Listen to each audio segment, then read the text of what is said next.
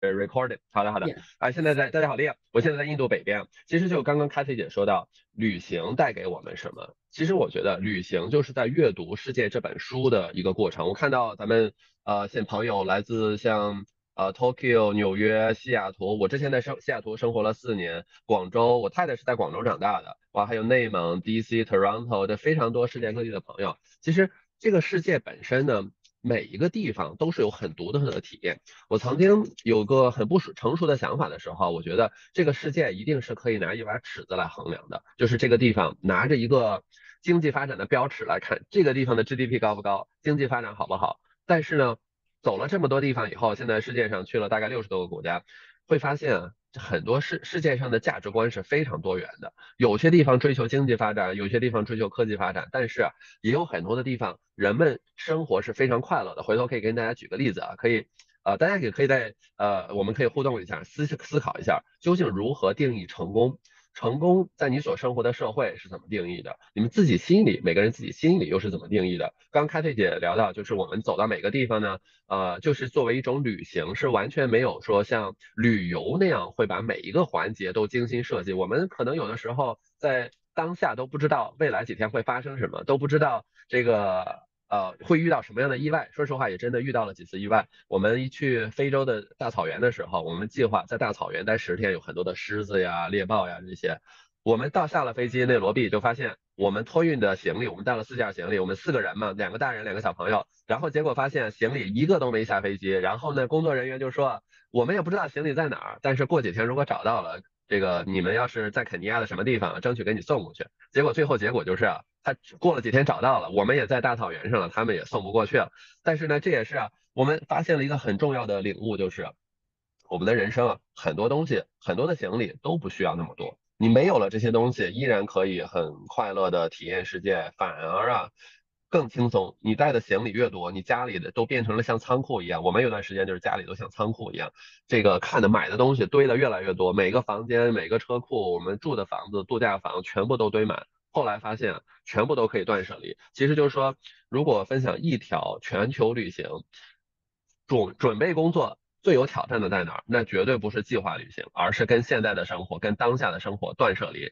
那么我们也是跟全球这么多人去采访，然后了解了他们的这种价值观、他们生活方式，这对我们也是很大的启发。我们会发在我们的呃频道上面一个 YouTube 频道，就叫做 Global Traveler Family，然后也可以搜索这个，我可以打过来叫爱旅行的四重奏，然后可以看到我们跟很多本地的朋友们的一些访谈啊，就是说到嗯。什么定义成功吧？其实我们一直长的成长的环境呢，就说成功，你要成功，在上学的时候就是要学习好啊，要考一个好的学校。毕业了呢，成功就是啊，找一份好的工作，不管是创业公司啊，还是大厂的工作。但是呢，哎，我们去了巴厘岛的时候啊，他们我问了一个女孩，她说呢，她的爸爸一直教给她，如果你在人生中的某一个阶段实现了这么一个状态，就是你可以掌控你人生中的每一天每一个小时。这时你的人生就是成功的。哎，我想这跟我们好像很多像在硅谷、纽约、西雅图的朋友想法不一样啊。他们都觉得我一定要赚更多的钱，要做职场更高的职位，要买更大的房子、更多的车。但是啊，从来没想过自己去自由的支配人生每一个小时的时间，这是最重要的。因为我们人生中，就像伊拉马斯克说的。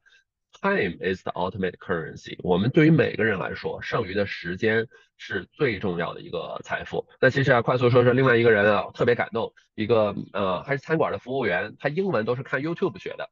他说呢，如果他让他可以让家人每天的开心的微笑，这他就认为他这一天是成功的。所以呢，他说他在太太怀孕的时候，每天骑着小摩托车从巴厘岛的南边开到北边的村落，叫乌布那块儿。然后啊，大概要骑车骑两个小时，就是每天都回去看他的太太。我就觉得，其实他对于家人的投入，这又是让他认为哎成功非常不一样的定义。其实每个地方呢，人们对于这种成功的定义是非常不一样。这其实也是打开了我们的很多的世界观。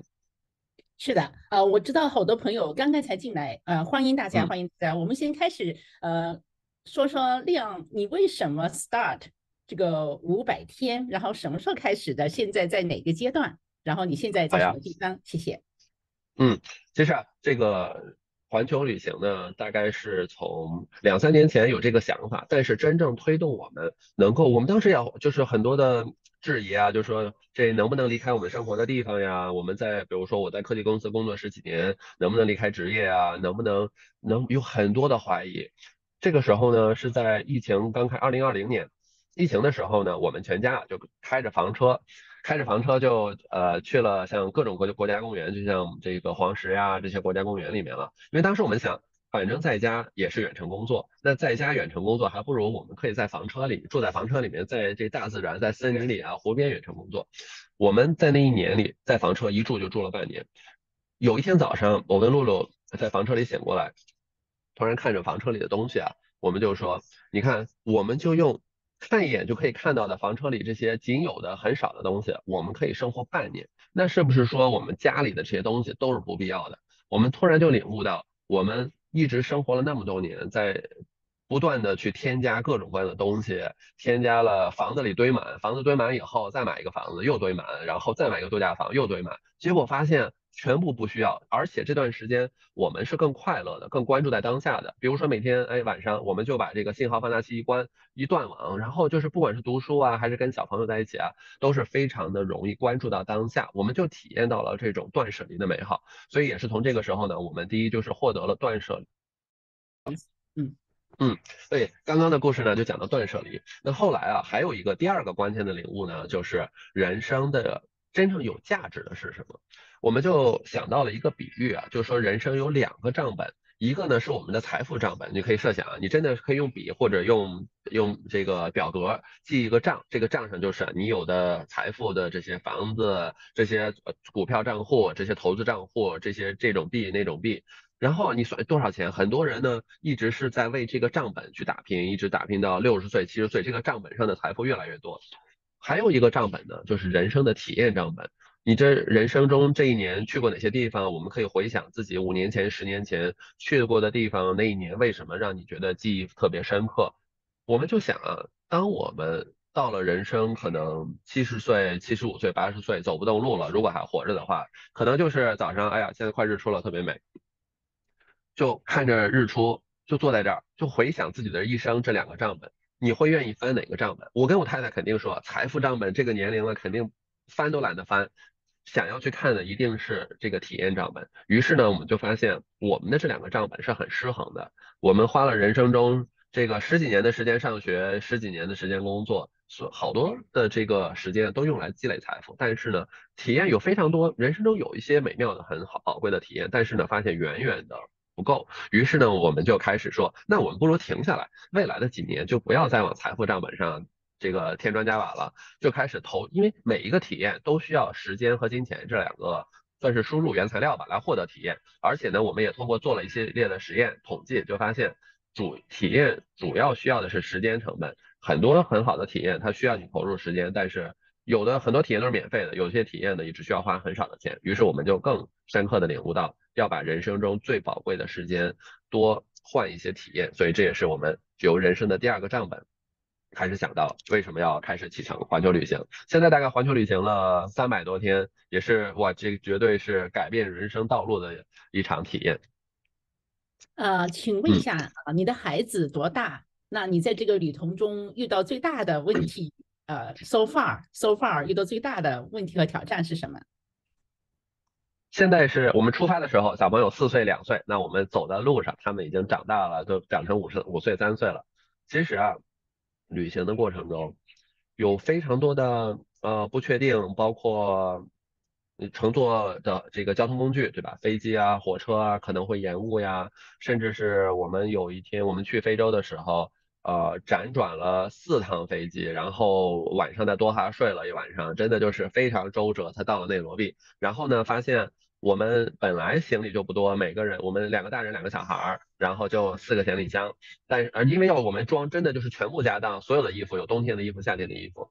我们到了内罗毕以后，发现。我们的行李一件都没到，可是我们第二天早上呢，就会有这个，因为要坐越野车去大草原，就是看 safari，safari 就是我们在大草原上会住这个草原上的帐篷啊，会住在大草原上大概十天左右，然后各种各样看动物大迁徙，就是各种各样的角马、万马奔腾过河，然后呢，我们第二天就要出发，所以呢，行李如果第二天到了，我们估计也没法拿。后来啊，我们也就放弃了等行李这个想法，就直接就。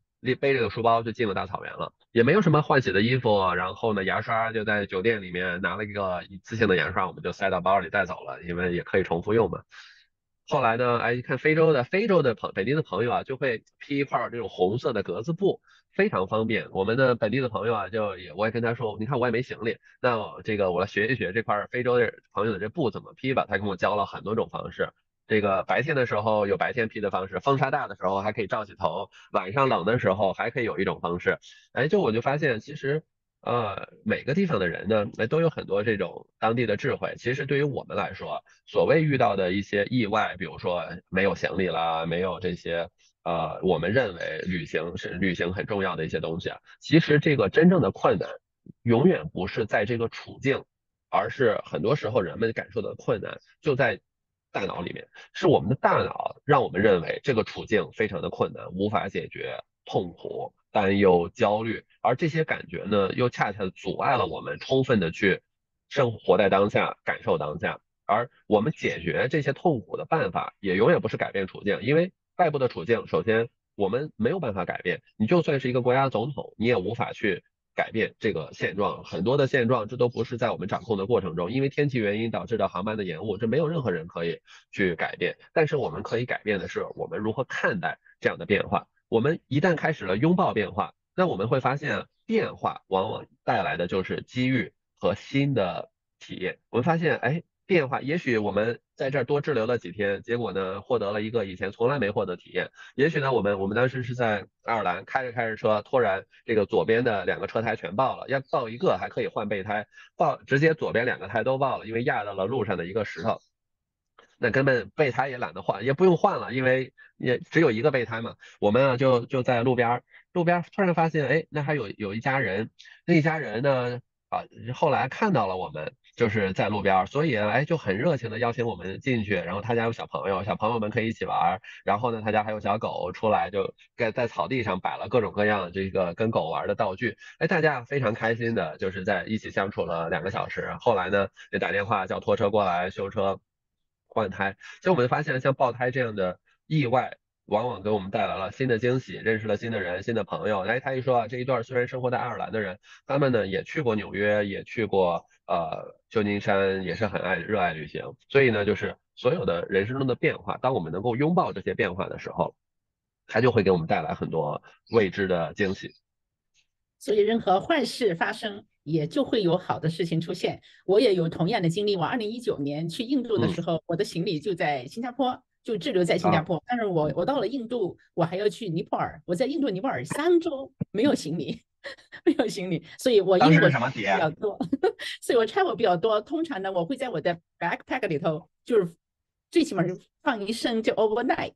呃，后来就像你说的，哎呀，就就是入乡随俗。像你现在你这衣服可能就是 local 买的，对吧？对对对，就是 所以就是就是 local 解决。后来就像跟你的嗯感触是一样，哇，我。就是你很容易断舍离，very simple，you can travel light。所以我连 travel 都没有 suitcase 了，就一个 backpack。所以在在印度尼泊尔就是几几周就特别方便，所以我走遍了印度的大学啊什么的，我就不用再也不用 carry 一个 suitcase。所以啊，backpack 人生就是这样的。一个 backpack 的日子。人生就是这样的，你越越轻松，生活的越轻松，你的东西越少，其实你会发现。你的专注力越强，你越容易享受在当下。这是一个看上去有点反人性的过程，因为人性呢，就是我想不断的拾起来，我想不断的添加，让让你从你的人生中去掉一些你的这种所谓的 title，呃，社会的标签儿，去掉一些你的这种拥有的东西，你所现在生活的方式，去掉，这是反人性的。但你去掉以后，你会发现非常美妙的过程。呀，你知道很多人，包括成年人去印度的最大的担心就是这个卫生条件和和食物。你的孩子现在哈才三岁五岁，没问题。对对对。所以我也想你跟大家分享一下这一点。对，其实啊，很多人呢都是活在，我们就说你是 living love or living fear。living love 就是我很热爱探索世界，我想要来印度看看，想去尼泊尔看看，我是跟着我的热情去走。Living fear 呢，就说，哎呀，我不去，我要去西欧的发达国家，我要去，或者我就住在家里，因为外面不安全，外面呃，外面不卫生。那其实我做的人生选择都是基于 fear，都是基于恐惧，恐惧别人的说法，恐惧别人说有些地方不安全，有些地方不卫生。其实啊，我们就先不说说的对不对啊，我们就说我们这种动物吧，人这种动物的基因跟世界上大多数的动物百分之九十的基因是一模一样的。那你说小猫小狗每天在这些呃地上啊走来走去啊，吃一些东西啊。是不是消化系统可不可以消化呢？可不可以？我们胃酸是不是能够直接就消灭这些细菌呢？大部分都是可以的。人的免疫系统，你就想，人上万年的历史，也就只有这最近一百年才开始，哎呀，做这样的卫生，认为这些要卫生，那些要卫生。过去的九万九千九百九百年都没有这么做，这不都进化过来了吗？所以啊，人的免疫系统是非常有弹性的。人的适应能力也是非常有弹性的。对于小朋友来说，我们带他去呃阿拉斯加看极光，零下四十度，哇，那我女儿叫米达，特别高兴，直接就躺在雪里。我还在那就是冻着说，就是哎冷啊，她呢就直接躺在雪上。我们在东南亚的时候，从零下四十度变成零上四十度，他们也是玩的非常开心。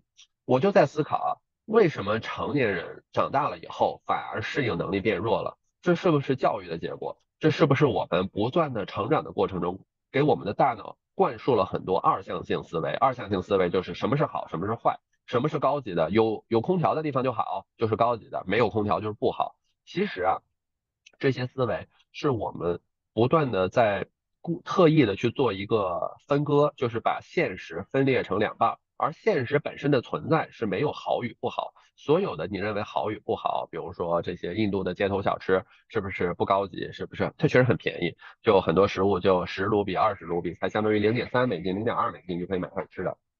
这些好与不好呀，都只存在于我们脑中。对于大自然，对于一棵树来说，它没有什么好与不好之分。如果你想深刻的体验这个世界，感受这个世界，如果你不想让自己作为一个就是一直被束缚，带着枷锁，那就第一步就是去除脑脑中的这个二向性思维，就是一切都只是都是中立的，它都是不同的，但是呢，没有好与不好之分。所以说回这个问题啊，其实我们的免疫系统啊其实又升级了。我们去了非洲走一趟，免疫系统哎逐渐的适应升级。非洲升级了以后，来到印度啊，可能都不会拉肚子，都没什么问题。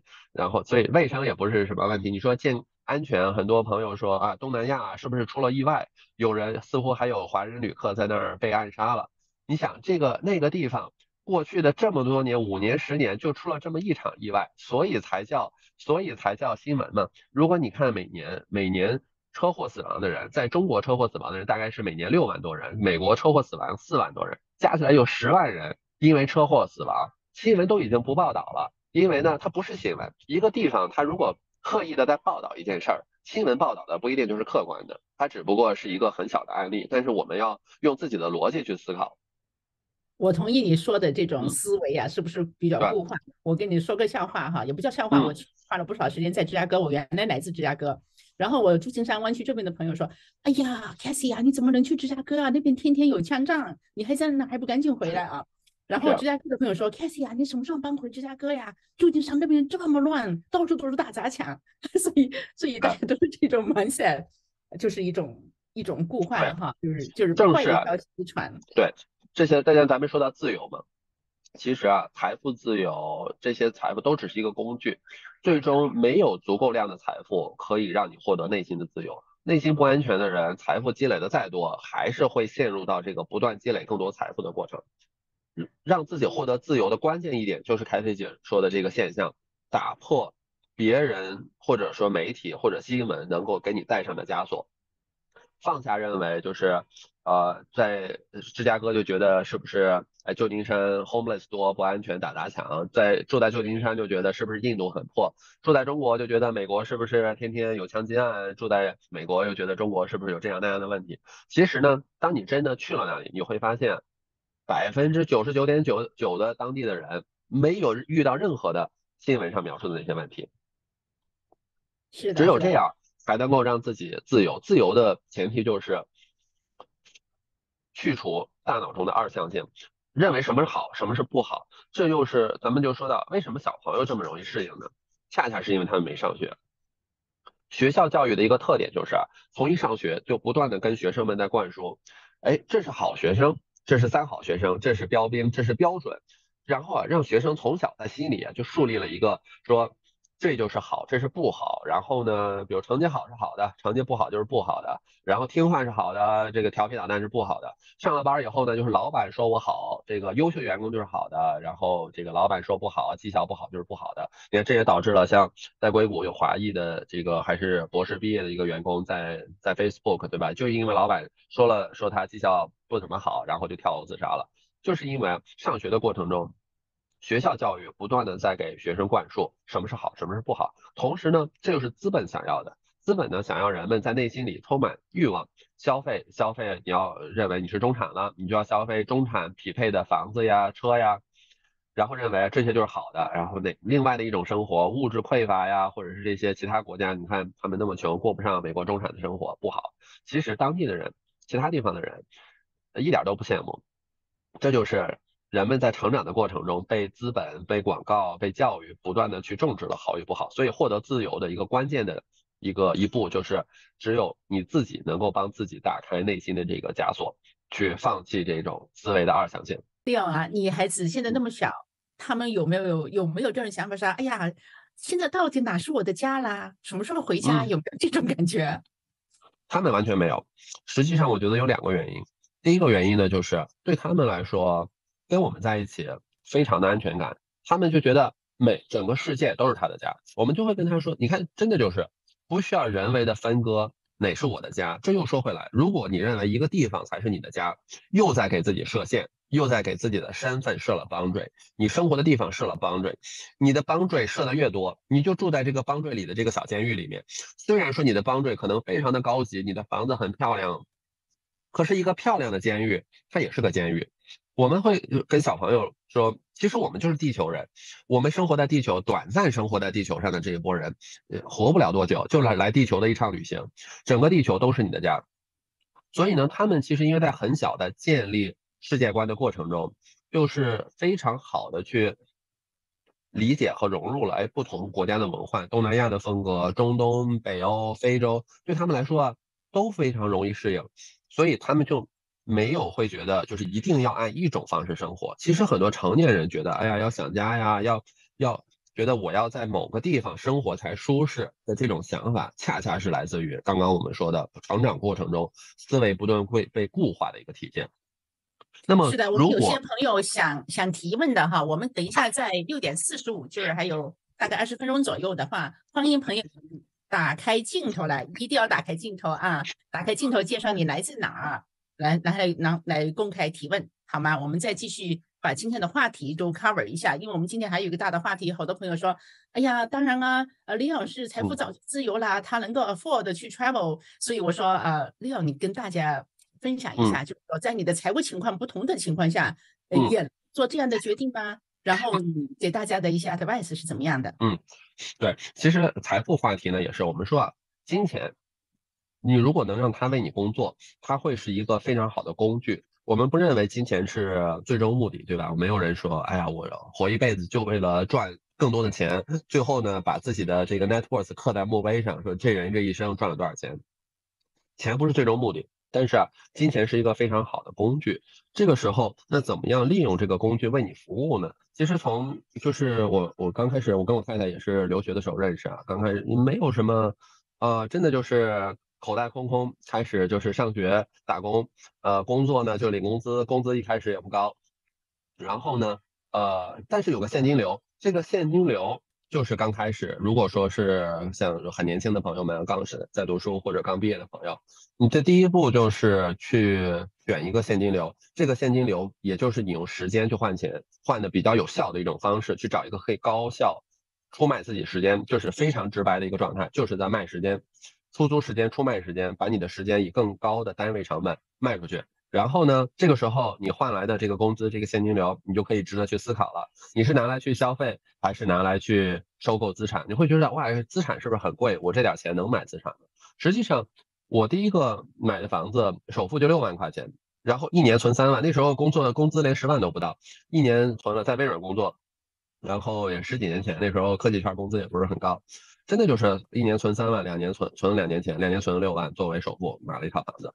那这就是说呢，很多的资产你是很多美国中部的州，现在也都是十万二十万也都可以买，你不一定非要买呃硅谷的嘛，不一定非要买一个就是这个入场券很高的，但是呢，你可以找一个适合你的投资、适合你的地方，你可以逐渐的用小的一笔钱，然后逐渐用小的杠杆开始收购一个小的资产，逐渐的收购中型的资产、大型的资产。那资产的作用是什么呢？就是它可以为你产生现金流。当资产可以为你产生产生现金流之后，你的时间就可以逐渐的不再产不再拿它去出卖，不再拿它去换钱了。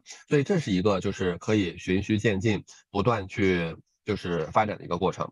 那你可以跟朋友们分享一下，呃，大概比如说你的五百天的 travel 大概需要一个什么样的 budget？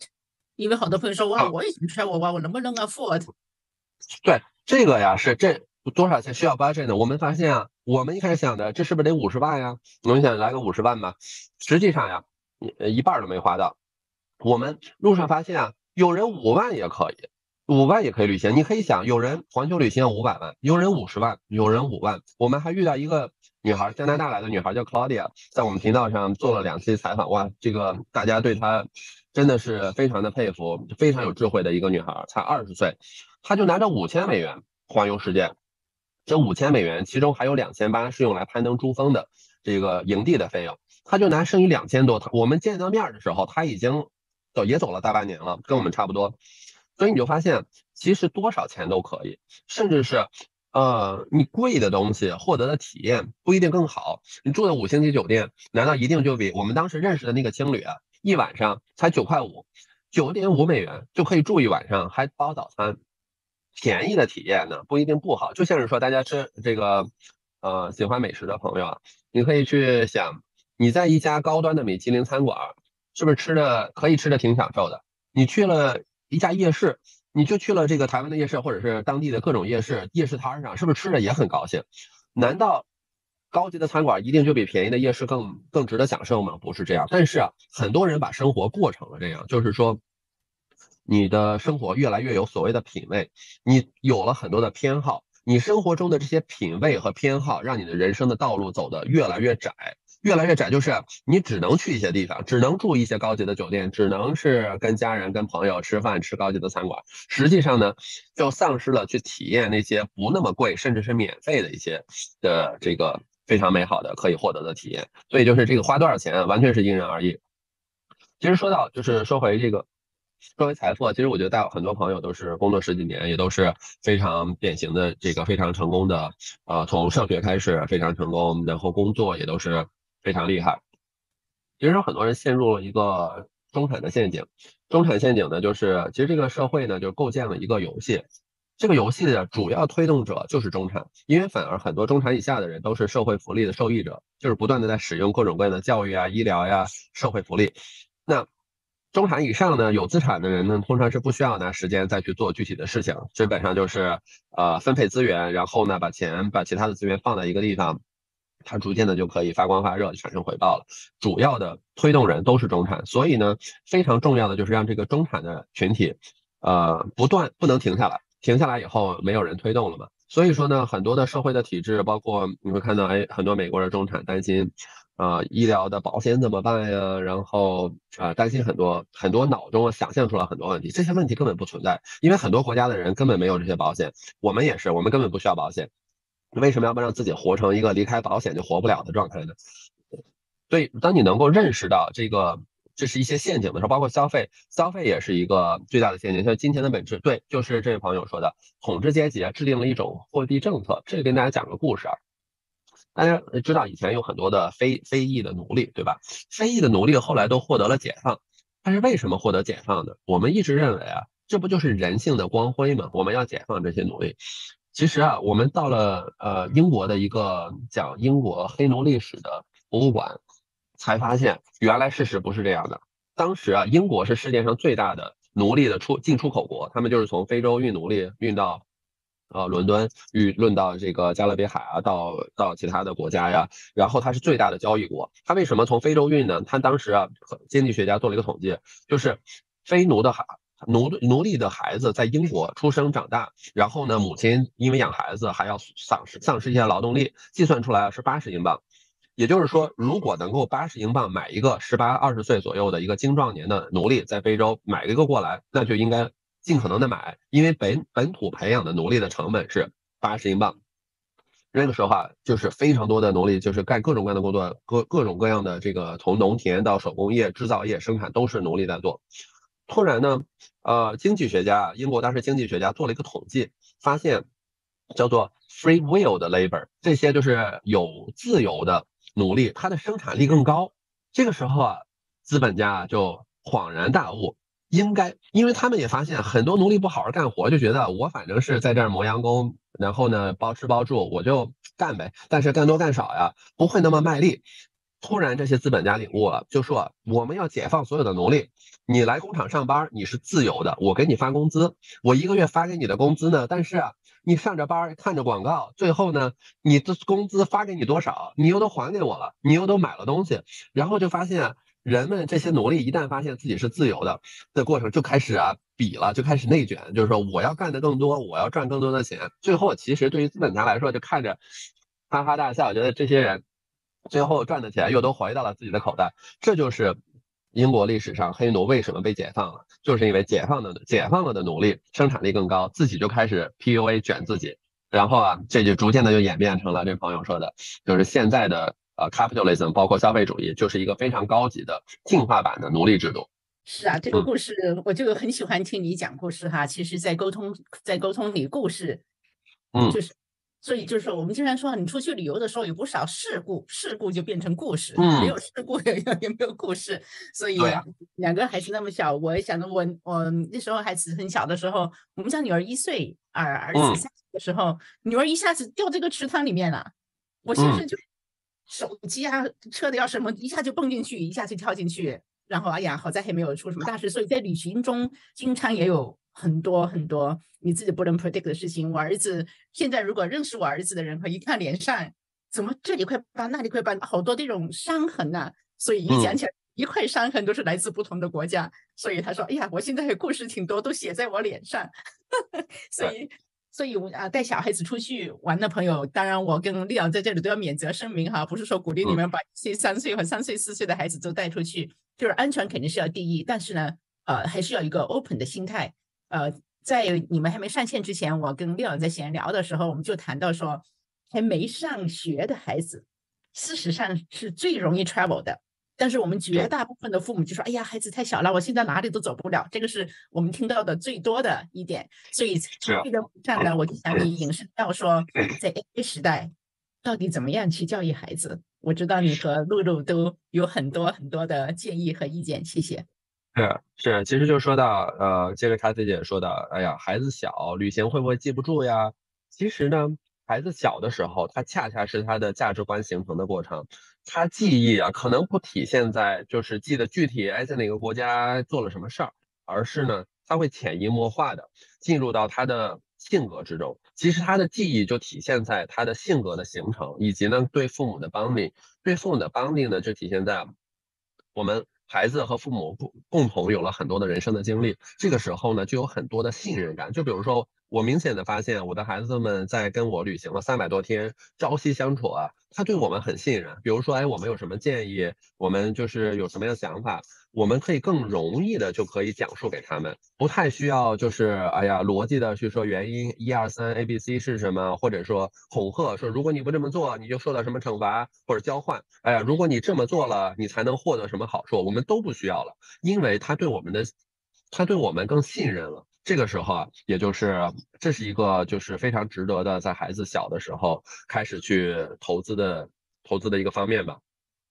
然后呢，我们可以看，其实现在的很多就是我们在座的也都是非常好的学生。我之前写了一篇文章，就说好学生是其实也是一个。陷阱就是好学生比较容易的不断去满足外部的标准和别人的看法，其实这也是因为自己在成长的过程中呢，非常擅长满足外部的标准，在意别人的看法，追求了外部比其他人的认可，这个时候就很难从这个过去自己擅长的游戏中跳脱出来，所以能够在这个方面能够跳脱出来又是非常重要的，因为啊，这就说到在未来的社会，不管随着 AI 的发展，随着资本。未来资本技术杠杆、资本杠杆都会越来越充足。就是这些杠杆是什么呢？就是就你可以理解为一个放大镜、放大器。你可以做一件事情，随着加了这些杠杆，那你的力量更强了。未来的这些杠杆会越来越多。这个时候，人的价值是什么呢？现在啊，很多人他在做的就是一个，有些人在比如机场、工厂里工作，他就是一个机器，就是跟机器对等的一个以人形的机器。有些人呢，在做了一些就是工作呢，是类似于杠杆的工作。有些人呢，做的工作就是一个去思考。我们会认为就是。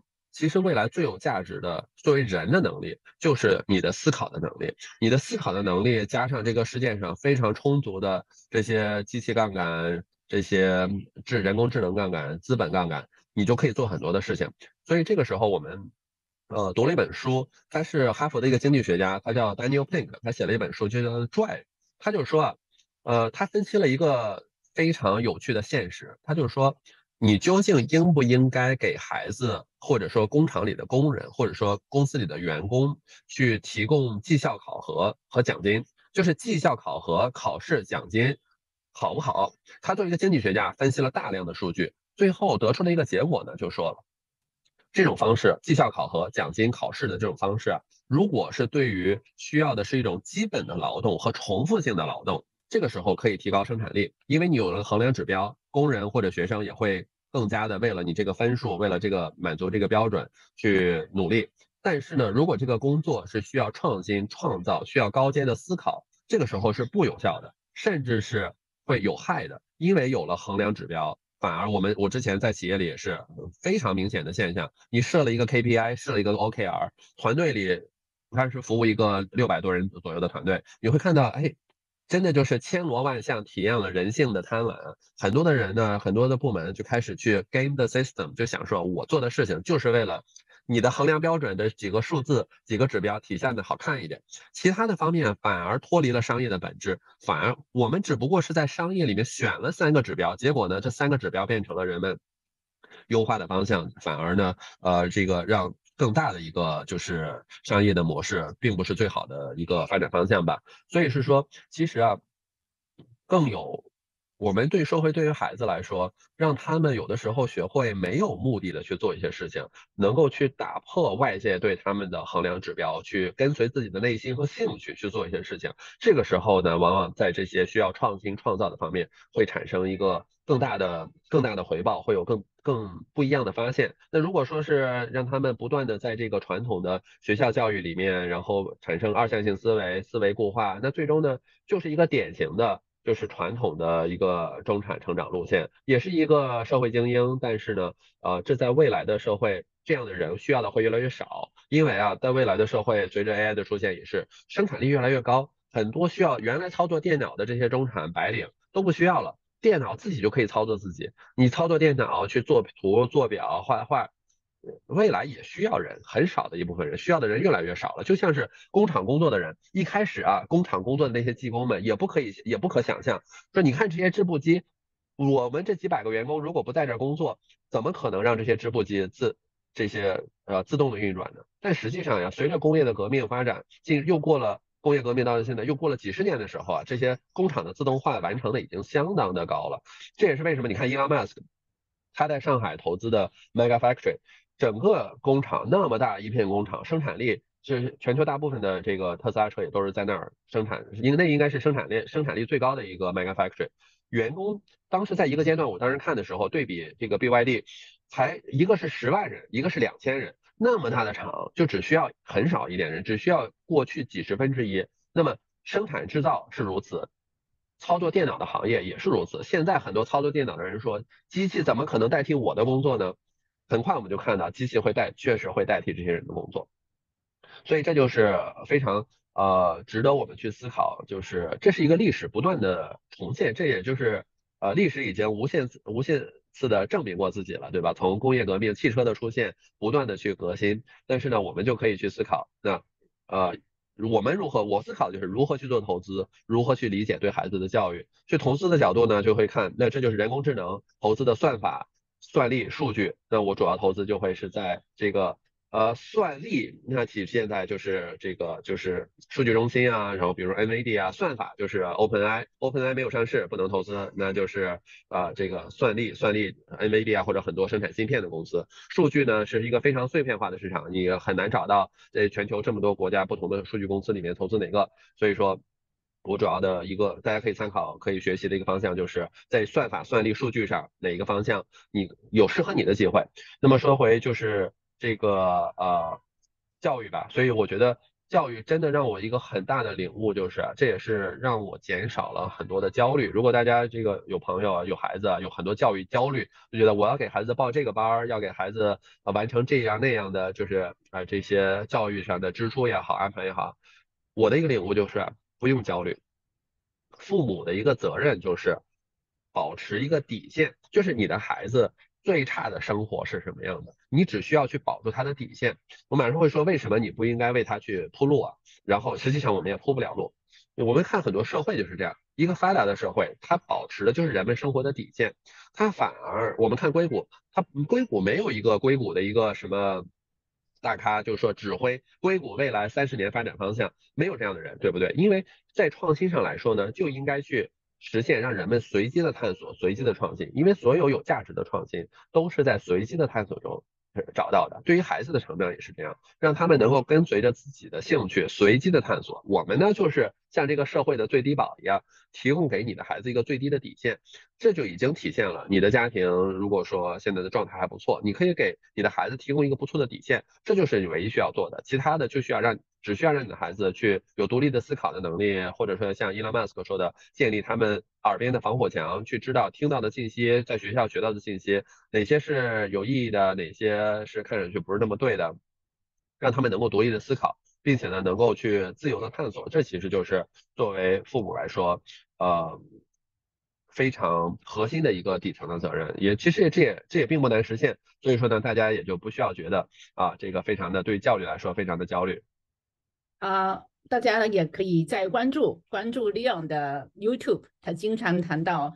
啊，怎么样管理夫妻关系啊？怎么样亲子关系啊？我们大家都会关注，因为他的孩子也比较小嘛，所以有些有小小孩的，还在计划生孩子的，都可以 follow 他啊。嗯，因为嗯，这个教孩子确实是每家每户都有各个不同的想法啊。但是呢，就是怎么样跟孩子保持好非常棒的亲子关系，这一点我觉得在这个旅行中，不管他是不是太小，记不记得住这个同一条战壕里面啊，这种亲情是。非常 strong，我我也是孩子那么小，跟着我们一起走那么多个国家。如果您问我有最大的收获是什么，我最大的收获是现在孩子跟我好像还是同一条战壕里头朋友。这个暑假我们带着孩子走了四十多天哈，其实就是中国各个地方。人家说哇，你们的孩子读大学还愿意跟你去那么长时间啊？小时候走得多，这种 bonding 是 lifetime 的，所以。这个也是我自己的一个体会啊。对，刚好说开 C 姐其实也是带着小朋友们去了这么多地方。那现在孩子大概是在十九二十岁的年龄，这个成长的过程中有什么样的观察？呃，我觉得有几点吧。嗯，第一呢，就是孩子们，你问我们家任何一个孩子，哎呀，你以后呃准备在哪住啊，或者在哪工作呀？我发现他们三个人的回答大同小异，随便哪儿啊。对，就是他们已经是。思维特别的开放了，觉得就像你说的，你去到哪里都可以生活，不管人家说这里多危险，那里怎么样，因为他们体会过，是吧？这一点我觉得是啊，他们这个回答都很变性的啊。第二点的话，就是他们觉得好像很简单就行，嗯，因为我们经常 travel 很简单，然后家里的很多东西都是甩掉，就过得很 simple 的 life，这一点他们也是觉得，哎呀，这个人生就是简简单单就好。他们对物质生活上不是说这么追求，我觉得这个也是由于我们到处 travel 啊，需要简单，他们就觉得哎呀，其实人生不需要太多这几点。对，然后的话还有一点就是由于我们 travel 的时候遇到了很多各种各样的挑战，然后大家一起来想办法解决很多问题，相互于怎么样 teamwork。呃，像举个很好的例子，我女儿两岁的时候锁在一个厕所里面了。呃，里头里头没灯，我们又开不了门，哇，我们怕他，他才两岁是吧？然后我就记得我们家两个儿子在在外面说：“妹妹，你闭着眼睛，我们一起逆上去，就是那个 play karate。”因为女儿很喜欢就跟着儿子，他自己不当年经常跟着嗯着哥哥。然后你看我女儿记不住了，但我两个儿子记得住，说那个时候他们就叫妹妹闭着眼睛就来数来 punch。嗯，这个妹妹就特别冷静，是不是？他不会觉得一个人关在一个黑暗的屋子里，关了真的是将近一个小时啊！我们等着等着那个当地的人帮我们把那个门敲开呀。所以就是这么一些小的例子，让他们之间的 bonding 真的是 forever。包括现在有时候他们自己有些什么困惑疑惑呀，他们也会相互之间去沟通，然后他们也会说约着一起说以后一起去 travel。所以这些都是由于旅行，由于这种 bonding。当然也有很多很多故事了。今天主要是听你讲故事，所以你问到我，我觉得我觉得。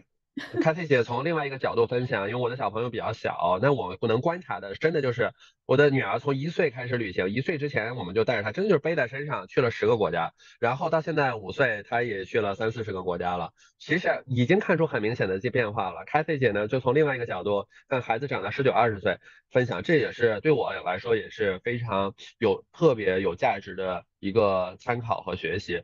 因为实际上，我们如果能给孩子一个能力，让他们能够从简单的生活中感受到快乐，能够去自由的生活，你真的在地球上的任何一个地方都能够认为自己这是这是家，我可以充分的享受这里的美好。这些就是作为家庭教育，相对于学校教育啊，作为家庭教育可以带给孩子的一个非常宝贵的方面。很多朋友呢觉得。家庭教育的标准就是我多赚点钱，送孩子去一个更贵的私校或者去一个更贵的补习班，认为这就是家庭教育。其实不是，这是很多的东亚的社会认为家庭教育就是多赚钱，让孩子接受不一样的这个教育资源，更好的教育资源就是家庭教育。但实际上呢，在很多其他的国家，家庭教育却认为。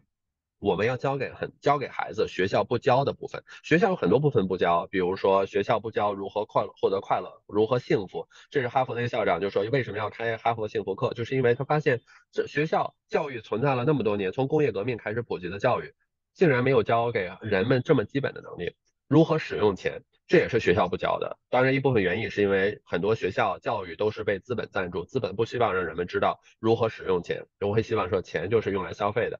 所以说呢，那这些区分不同孩子教育经历或者成长经历的一个关键点，也就是说不是学校教育，因为很多孩子上的学校是一样的，甚至是我们在硅谷认识的，真的就是呃资产大概在几百 million dollar 的这个，我们两说两个家庭的例子吧，两个家庭没有一个家庭的孩子是上私校的，还问他说为什么不上私校呀？是不是精英家庭这不都上私校吗？他说李阳，你看这几家。私校背后的老板，你说得上名字来的这几家，背后都是中国中国人精，都是中国老板精精准收割这些中产家庭的这个也认识，也都是朋友。然后他就说啊，反正他觉得学校没教什么有用的东西，既然私校和公校，他就在他心里都不教什么有用的东西，那就上免费的公校嘛。反而公校呀，还可以作为一个孩子成长过程中的一个观察窗口。我跟你说，孩子，你看，这就是真实的社会。社会，你有这样的同学，有这样的想法，有那样的想法，这些人未来可能是你设计的产品的消费者的客户，可能是你未来领导的员工。你需要去理解，就像环球旅行，你可以去锻炼这个 empathy，你需要去锻炼。可以理解不同的文化、不同的背景的人，哎，所以我就发现，原来他们这些家庭把学校教育当做孩子去观察社会的一个窗口，没指望学校真的教给什么具体的技能，因为这些都只是一个手段。对于学校教育来说，最重要的是教给孩子如何去学习，如何去获得自己需要的智慧和知识，而不是记住这些知识本身。这些知识本身只是一个形式。只是一个工具，所以我发现就是家庭教育是一个很多的家庭对于家庭教育有很多的思考，但是呢，我觉得不同的不同的家庭教育，呃，这就体现了不同的家庭的，就是对于家庭的教育的责任的理解。我看到这个评论区有很多的呃问题啊，我可以快速的说一说。然后我呃，我们也可以邀请朋友们举手上来啊，开镜介绍自己，问问题啊，这也是我们开的这个 Zoom meeting，让大家有互动。然后你也有机会让在线的朋友，包括亮都认识一下大家，请举手哈，大家有什么问题可以可以可以开屏来问问题。有朋友有问题吗？欢迎上来，现在也是难得机会哦。Be visible, be heard。从 risk free 的环境中开始锻炼。那那些很多 chat box 写问题的朋友，能够举个手吗？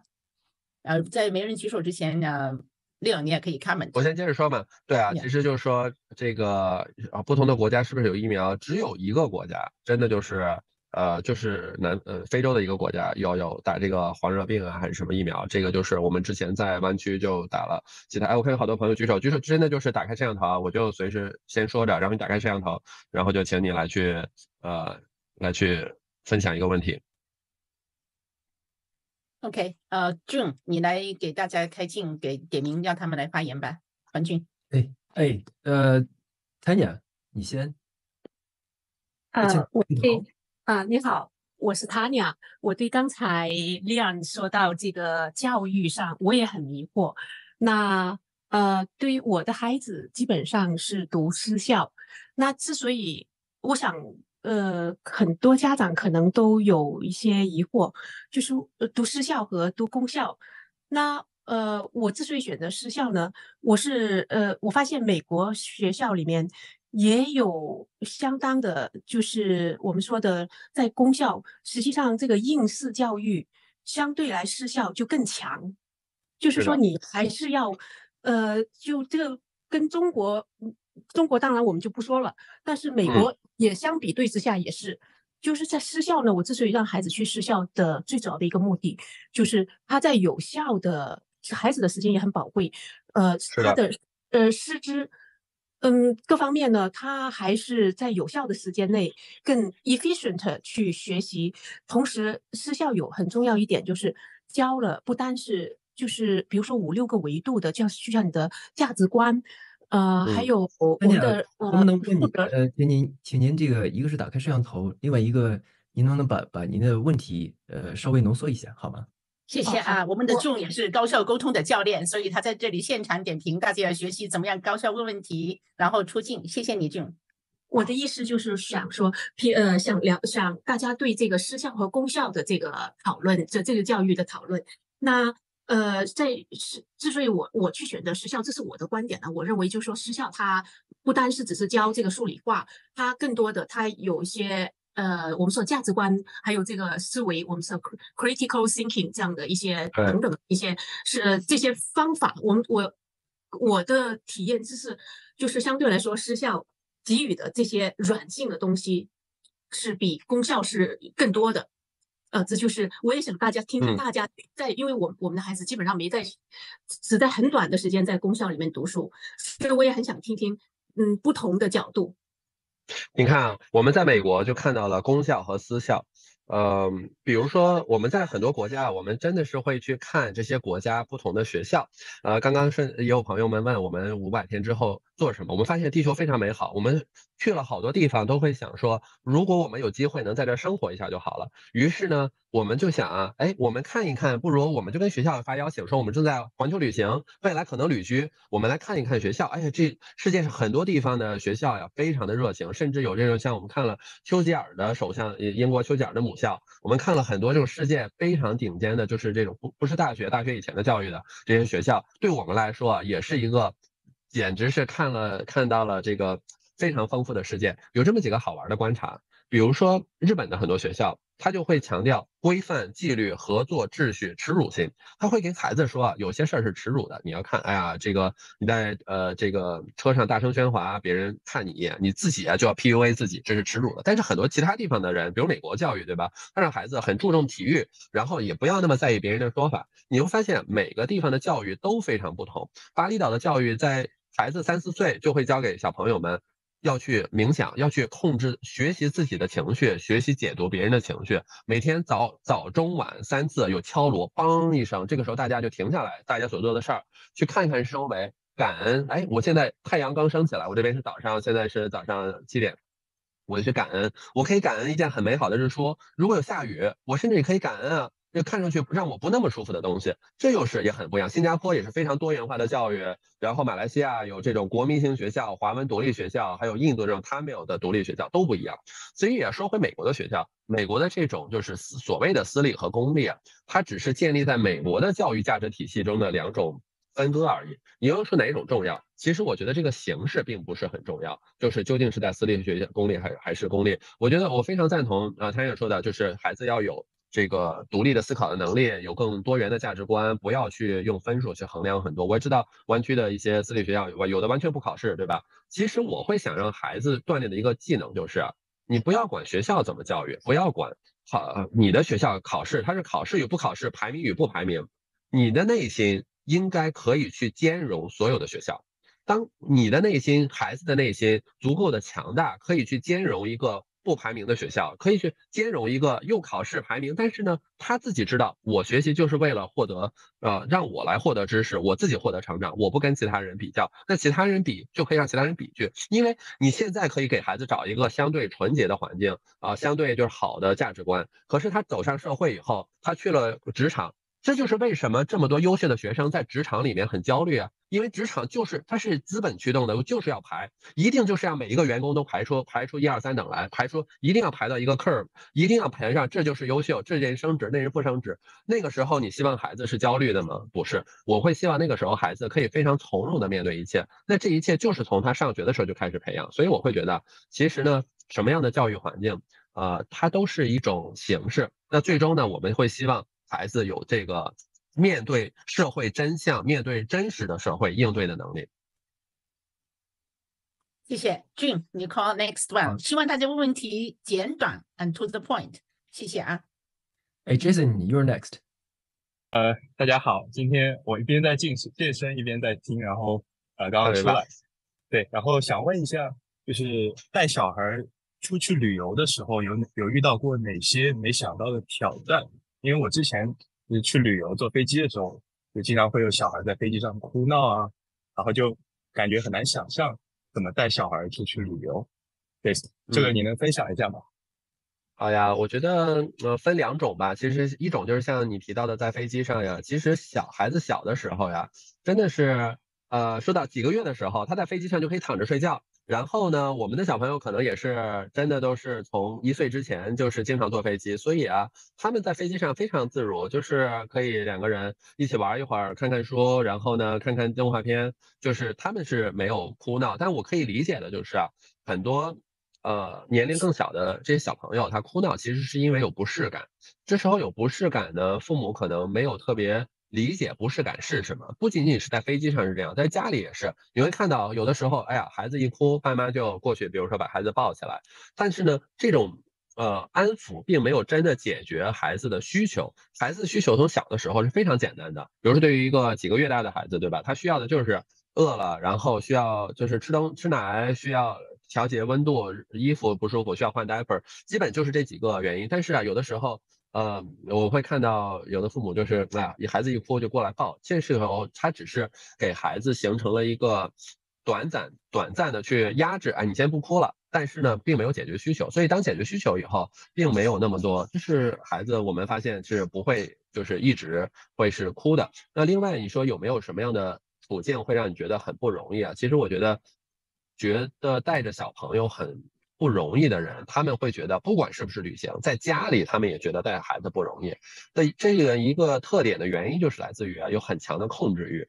这个控制欲体现在，我就希望看到我的孩子是用什么样的方式，他在做什么，他用什么样的方式去做什么，就是特别多的控制欲。当我们能够放下这些控制欲，让孩子自己去做决定的时候，你的控制欲越少，你会。内心会越灵活，会越放松，也会觉得越舒服。你的孩子也会觉得越舒服。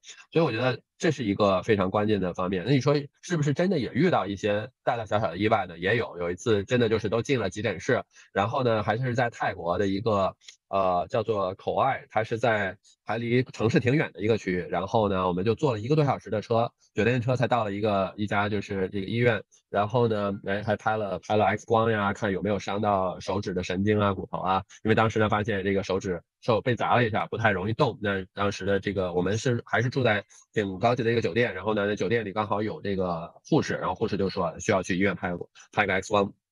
但是呢。最后觉得都没什么问题。其实所有的看当下看似的这些小的意外，都会变成就是孩子成长经历的一个磨练、一个历练。也就是说的，所有的事故，当下看的事故，都会变成一个新的故事。所以，当我们能够用开放的心态看这些意外啊，或者是就是你提到的这这些提到的这些问题，那其实它反而都是一些我们值得去拥抱的变化。嗯。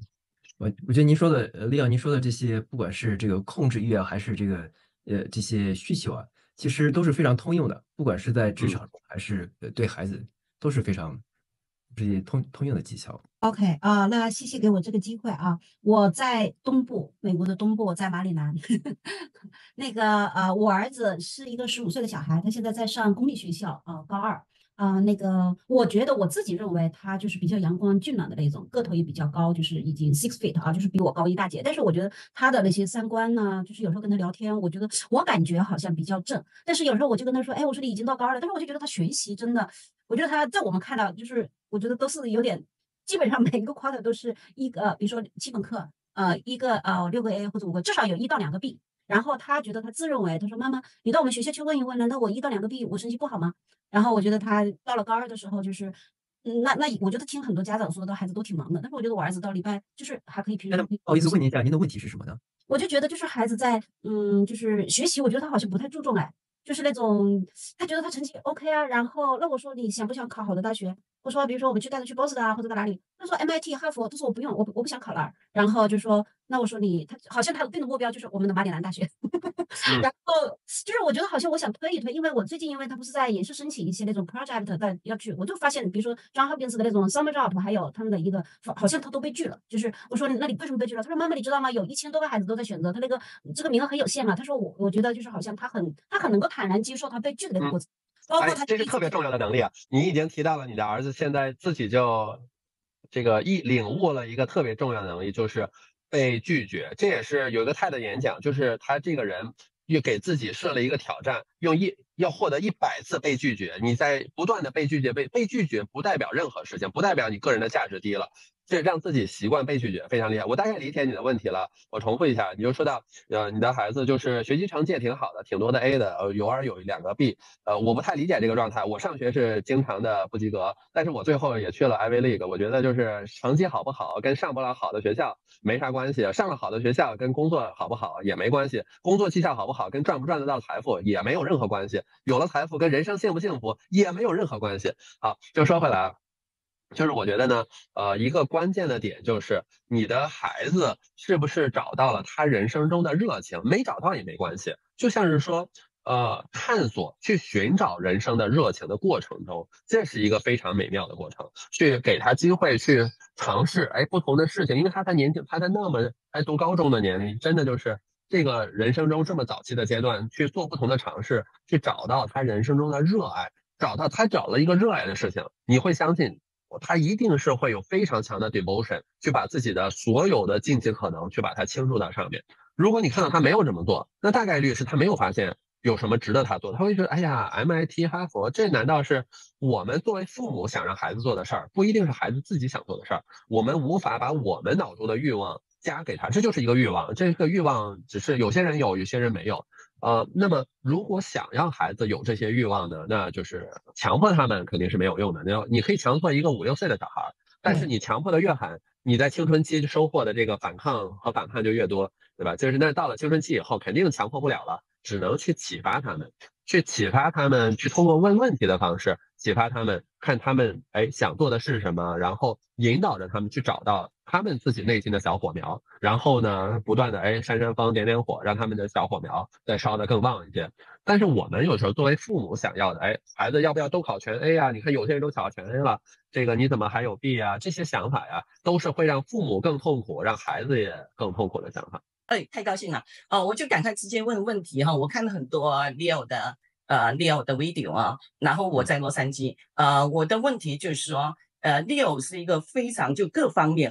都很全面、优秀发展的一个一个人呃人士哈，那我就想问，呃，是什么原因？你觉得就是说主要的原因，你可以分享一下吧？或者跟你以前，我觉得你妈妈也是个非常有智慧的人，你大概简单的讲一下好吗？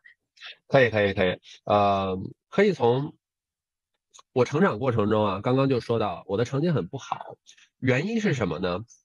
学校的学习让我感受到没有兴趣。所以有很多课，我考试成绩不好，并不代表我没有学到那个知识。呃，当时很有趣的就是，呃，我很热爱物理，所以说呢，我会呃，我会投入很多时间学习物理，但是啊，我的分数即使在我最喜欢的学科，分数也不会高，因为呢，我在考试之前，我不会去背这些公式，我甚至会在考试的时候去推出这些公式，这就意味着我考试的效率极低。但是呢，我发现了一个关键的点，就是，我学习的是是学习知识的本身，而不是为了去考迎合一个考试标准。这个时候呢，也是来自于很小的时候啊，呃，有一堂语文课，他就说要这个写字嘛，然后呢就写这个链接，我就写那时候我很小就开始上网，我就看着，哎，这不就是超链接的那个链接嘛？但是啊，那个时候上网还要拨号上网，那老师语文老师可能没上过网，然后呢，他就认为我这答的是不对。我说对呀，这个词存在啊。他说呢，他想让我写的是连接，但我写的是链接。然后我那一刻就突然领悟了，其实呢，所谓的权威不一定是对的，老师也不一定是对的。这个想法呀，也是在我后来的大学中也是更加的印证了。我在高中的时候就学习了这些算法，我是就是学习了算法，然后保送上大学。大大学的时候啊，那大学教授就在那讲，哎呀，C 语言怎么样怎么？我在那一听。我一想，这不讲错了吗？我高中就把这些课都学完了，我只不过是顺带上去听一听，啊，增加一些我的出堂的这个呃记录。结果发现老师讲的也是错的。然后呢，我就发现其实啊，这个社会上很多你以为说的是对的的人，你的老板，这个社会的领导者，其实啊，他们说的也不一定是对的。最重要的就是自己去思考。有独立的思考的能力，其实这是乔，这是乔布斯说的。你我们所生活生活的世界，其实是被那一帮看上去啊，并没有比你更聪明的人建立的这些规则。但是呢，你需要做的就是理解这些规则，并且去思考，我想要去遵守哪些，哪些是我的游戏，哪些不是我的游戏。恰恰是能够独立的思考，在这个过程中，并且就是不把权威的标准当做你的人生。衡量标准的时候，开始去领悟了。原来我学习不是为了考分数高的分数，而是为了获取知识。原来我工作不是为了获得别人的认可，不是获得领导的嘉奖，而是去为公司产生回报，产生产生利润。当我能够去用更高的维度去看待工作的时候，那我自然升职很容易。我根本不需要去讨好其他人，因为我做了，我开始去做了更长期主义、更有价值的事情。那同样的也理解了工作本身无法带来财富，那财富怎么带来呢？又开始去看到。看到看到事物本质的能力，说说回来就是这两点，一个是去呃不惧权威，去独立思考；第二呢就是看到事物本质的能力，这两个会让我们不断的成长，不断的思考。OK，谢谢谢谢。嗯，六，你说这个第这个非常深深刻，这个 unthinking behavior，我觉得我们就说在在社会上特别多。你像这些呃上完学找个工作，然后找工作一步一步往上爬，其实这些。我们大家有多少的确想过它背后的意义是什么？其实就是因为大家都在这样做嘛。然后您说这个不要相信权威，这个也是我在这个 healthcare 领域的话，我呃我知道，比如说这个医生的诊断 up to forty percent 都是呃错误的，所以的确是这个这个 对特特别重要。其实啊，我们会发现很多的权威，真你真的成为权威人士，被社会认为你是权威人士的时候，那个时候我们是有很多的敬畏心的。会发现人类社会其实不懂的事情太多了，大到宇宙边界在哪儿不知道，可是小到我们看到的这一个瓶盖的塑料是由分子、原子连接的，原子小到原子内部。原子内部百分之九十九都是空的，这原子内部又是什么呢？也是不理解。我们发突然会发现，对这个世界、对宇宙充满了敬畏心。我们其实都什么都不懂，也就别装懂了。我们弄明白的那些，无非就是人类自己想象出来的一些人生的意义、人生的价值。当我们有更多的敬畏心的时候呢，反而容易让我们放下，放下什么呢？放下了自己的 entitlement，觉得哎，我是一个这样的成功的人，我是一个这样的国家的人，放下了这些 entitlement。反而可以更自由的去体验世界。对，好，黄队，下一个。哎，好，呃，林，该您了。哎，大家好，呃，非常高兴，今天是第一次呃来聆听这样的一个讲座。我也是环游世界十八年，已经超过一百多个国家。我想问一个问题，就是您的团队，您的团，因为我三岁看到呃外公外婆这些老人死去嘛，我就向死而生，所以很小就特别有灵性。就是人最高境界是。连自己的那个灵性嘛，然后我三岁就很叛逆了，我就觉得怎么明明知道我会死的，那父母还把我生下来干嘛？这父母不是呃很傻嘛，我就说每个人活在这个世界上傻傻的在做一些碌碌无为的事情，所以我就从我会识字嘛，我就开始看书啊，什么世界五千年、上下五千年，我就知道这个世界五千年啊，然后有很多奇迹，所以我从小就就像你知道的，就是小孩他有了一个目标之后，他自己会自自发的学习，所以我家里没有任何人是有学历的人，但是呢，我学习一直很好，就是我说，如果我要环游世界。我现在没有办法骑马，也没办法去化缘化斋免费吃东西，那我就得会赚钱啊。然后我就要学习好，然后我可以有工作，有了工作可以当老板，然后我以后就赚钱了嘛。所以我整个人生的心路历程，从三岁活到现在五十三岁了啊，我一直在环游世界，然后呢一直在探索就是灵性成长、宇宙的奥秘。然后我一直在我自己的人呃这个 IP 上，就是说我们是宇宙公民，我们是永恒的。如果你相信自己是永恒的，那你就没有什么可以那个害怕的了。所以我想。所以我想加入你们团队呢，就是说，因为我也是九星联盟的那个呃总裁了，就是副总裁级别。然后呢，我个人呢现在也是半退休状态，因为我小时候就看到把孩子生下来，孩子是面临是死亡的，所以我没有生孩子。呃，但是我一路上就是有很多艳遇啊，也有很多爱情故事啊，也有很多这个成功的案例啊，包括我自己也是心理咨询师和本身也是呃中文老师嘛，在国家在国内也是学中文，也是老师。但是我很想推广跟你们一样的，就是推广人的心智模式的一个呃边际线。就是当你突破你这个边际线的时候，你活的是一种法喜，就是我们你会看到一个更大的世界。其实你说到这个面对死亡呀，这也是前两天跟开菲姐聊到，开菲姐最近有三个朋友对吧，相继离世。其实啊，死亡教育这也是对孩子教育非常重要。我我们一个朋友在湾区开养老院的，他真的就是带着孩子去看他的老人的客户，他们也是非常好的朋友，在他们养老院生活了十几年去世，他真的带着十几岁的孩子去让孩子看。看孩子，这就是人生最后一定会面对的结果。这个结果有几种方式，还跟我讲了讲。有，你可以先写下什么不救治同意书什么什么的，一定要给孩子死亡教育。我们也是啊，在爱尔兰的时候，爱尔兰有一个古堡，我们对我上了死亡教育的一课。那时候啊，看到走到古堡的路上很多的坟墓，我们就突然发学习到了，原来以前人们奋斗终身的目标就是为了在教堂旁边买个坟。有钱人的坟在教堂附近，有钱又有权的人。坟就在教堂里面，没那么多钱的人呢，坟就离教堂远一点。他们把人生中大量的时间都存成了钱，钱用来买一个坟，会希望这个这这其实你看过了几百年以后，现在爱尔兰人也不这么干了。现在回头看几百年前人，这不觉得哎呀活的有点就是不那么聪明吗？就是这很局限的一种想法。可是实际上，我们回头问一问我们自己。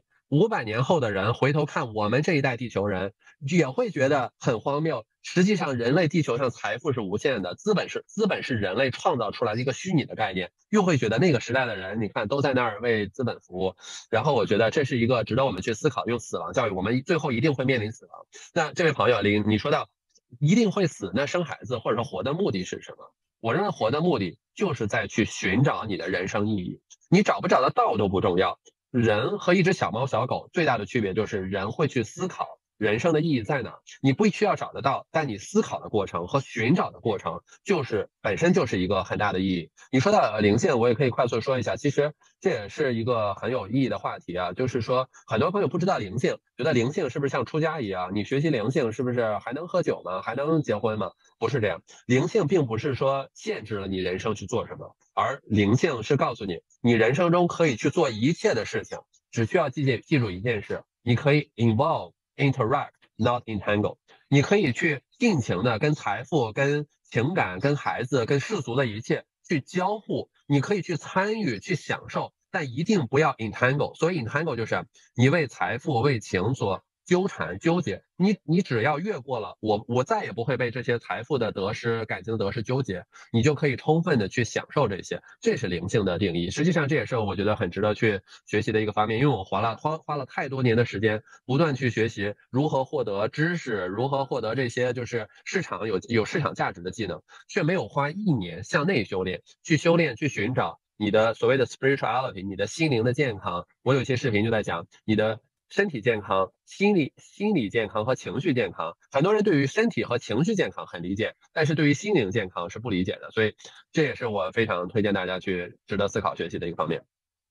嗯，我想，我在我们现在最后一个问题时间已经到了，好吧？我看 Helen 的手举了很久了，也出镜了。Helen，你来问一个压轴问题好吗？谢谢你。嗯，好的，谢谢啊，谢谢凯特老师哈，我是凯特老师那个八期的学员啊，也非常感谢六，啊我跟六也加了微信，也也也聊过，呃，我觉得我非常欣赏，非常的有智慧啊。然后只是就说，呃，我自己情况的话呢，就我觉得这个感对灵性的问题，呃，如果你思考通的话呢，我觉得这个人生你更没有负担，就是让我们更自由的享受这个一生啊。然后我自己的 我自己的那个老大呢是这个十八岁哈，他上私校两年，然后他自己说呢，我从学学校学到了 critical thinking，然后他就不想再去这个学校，他说太 structure。啊，然后他就上了网校，然后他自己做了很多的这个思考啊，所以对于大学呢，一开始他说他大学我觉得感觉没有什么意义，但后来现在他又改了，就是说呃，我不是说不想上，但是呢，就是看它的价值，这我是很赞同啊。所以说我觉得，对，就说现在这个 AI 这个时代，我还有个老二也上高中，呃，就是 AI 这个时代呢，就是你们对大学怎么看？就大学的价值，因为学校肯定是滞后的。嗯，对，学校这这非常赞同。对我有一期视频就在讲为什么这么读了学学历学位不能致富，其中一点就是啊，学校教的技能，这都是大学教授。我们有很多朋友现在在做大学教授啊，他自己也跟我们说。这都是是行业里出来五年以后的技术，逐渐呢又被行业里的人写成了书。这本书呢又被大学教授内化，又编成了教材，教材又印发出来做成了课件给学生。这一切，当一件事儿在大学里教的时候，这事儿出来已经很多很多年过去了，它的市场价值已经，它有市场价值，但它已经是一个 commodity，就是一个通用的人才，已经不是什么就是高级这这个很稀缺的人才了。那大学的教育是什么呢？我觉得大学教育。很有它的意义，意义本身就在于啊，学大学在上学的时候不去追求大学教育的本身的形式，大学上的课程考的试，而是把大学当做一个自己可以去呃挑战自己学习能力的地方。因为大学之前呢，比如高中啊，学习的课程相对的是比较基础知识比较多一些，然后呢也比较单一一些。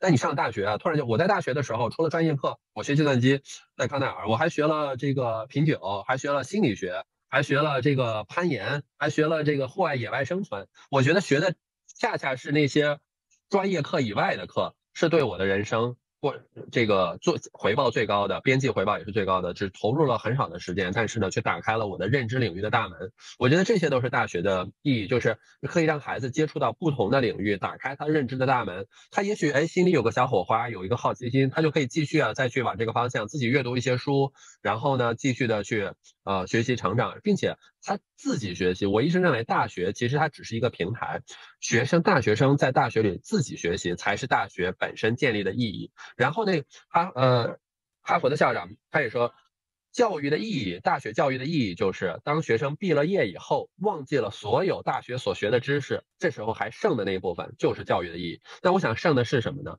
对我来说，就是如何进行学习，以及像批判性的思维。独立的思维的能力，还剩下了什么呢？可能我跟露露也是在学校认识的。我觉得大学是一个也是非常好的这个谈恋爱的地方，这是一个很好的锻炼的地方，都是同龄人，大部分人也都是 available，这都是大学的利益，非常非常好。好嘞，啊，Leon，我知道好多朋友还有很多的问题，还有很多问题。对，咱们呢就是大家也是呃，在之后也可以找机会，然后呢，我们在另外找机会，而且你去的地方那么多。